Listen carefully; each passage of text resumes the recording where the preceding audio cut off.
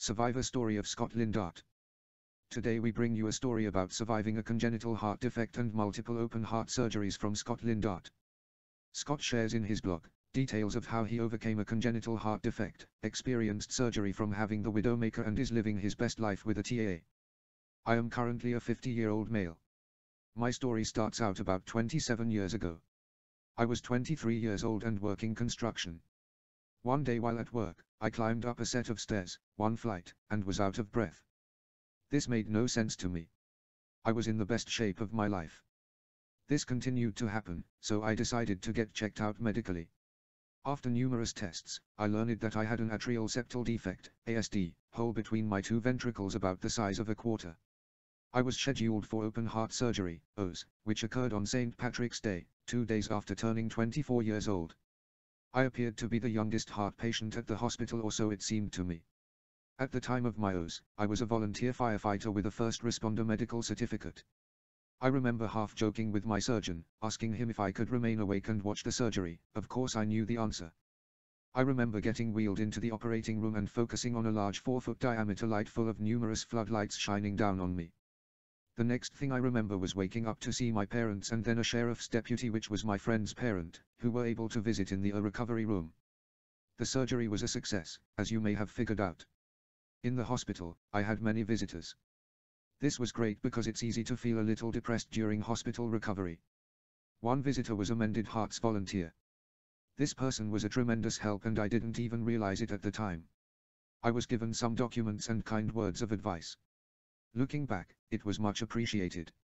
I went through the recovery process and ended up, six months later, having a few broken sternum wires removed. After that it was rehabilitation, checkups, and finally cleared and back to 100%. Fast forward a number of years to about six years ago. I was doing pre-op testing for cervical disc replacement and fusion. This is when I learned about my 4.7 cm thoracic aortic aneurysm, TAA.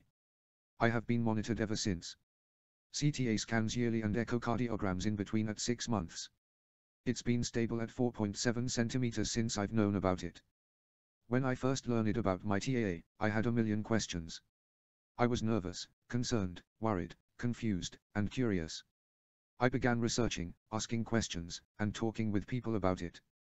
This is when I found out that one of my best friend's brother's death was due to an aortic aneurysm rupture many years ago, about the same time that I had my OS. By the way, my friend has been checked for aneurysms and has been cleared. Another connection to this disease came a few years ago when my wife, who was adopted at birth, lost her favorite aunt to an aortic aneurysm rupture. I have also since learned that my paternal grandfather was diagnosed with an aortic aneurysm, not the cause of his death.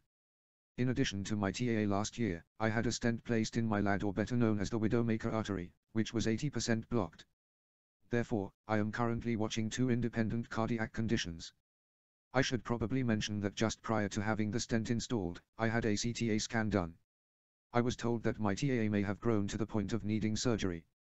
So, I began to prepare myself for another OS, only to be told a few days later that upon further reviews, that was not the case.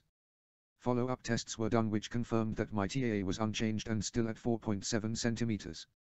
I try to focus on living a heart-healthy lifestyle, which includes diet and light exercise, and raising awareness whenever I can. Fortunately, now I have a less strenuous career focusing on safety along with a wonderful wife and supportive family, and my dog, Annie, who is in the attached picture with me. I believe that aortic aneurysms are an issue that may be more common than was ever thought. It's important to know about them. To know if you have one, and if you have one, it's important to know how to life smartly with it. Life is good, and this, certainly is not the end of my story.